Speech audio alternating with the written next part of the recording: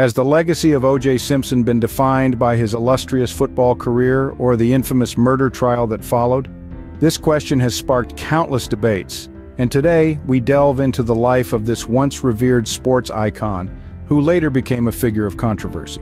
Born Orenthal James Simpson in 1947, O.J. Simpson grew up in San Francisco, California. His talent in football was evident from a young age.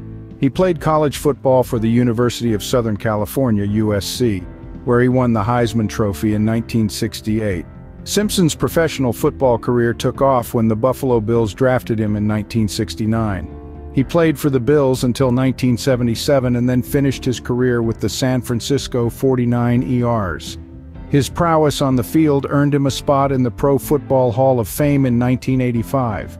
However, Simpson's life took a drastic turn in 1994 when he was accused of the murders of his ex-wife Nicole Brown Simpson and her friend Ronald Goldman. The subsequent trial, often referred to as the trial of the century, was watched by millions and Simpson's acquittal led to polarized responses across the nation. In 2007, Simpson found himself in legal trouble again, this time for armed robbery and kidnapping in Las Vegas.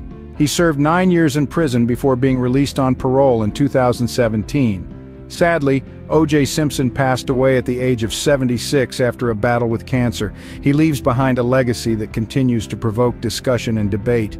To summarize, O.J. Simpson's life can be seen as a tale of two halves. On one hand, he was a football legend, a Hall of Famer, and a Heisman Trophy winner. On the other hand, he was a central figure in one of the most infamous trials in American history and served time in prison for a separate crime. His life story serves as a stark reminder that success and fame can sometimes be overshadowed by controversy and personal downfall.